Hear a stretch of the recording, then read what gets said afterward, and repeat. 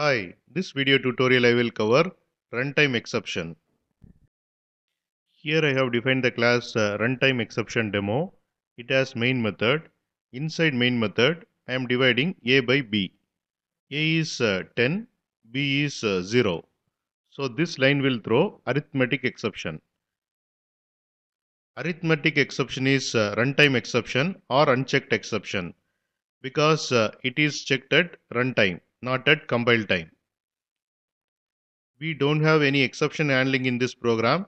So JVM default exception handler will handle the exception and it will print the details of the exception on the terminal.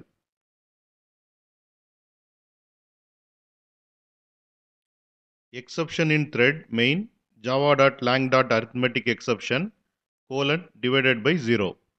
This is uh, name and description of the exception. Class name is uh, runtime exception demo.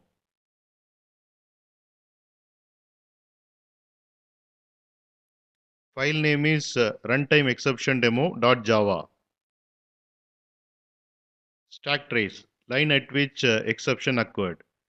In this case, at line number 9, exception occurred. Here I have defined the class uh, runtime exception demo. It has main method. I am running this program. Here you can see the output. We got uh, arithmetic exception at line number 9. And uh, this is about uh, runtime exception and uh, thanks for watching.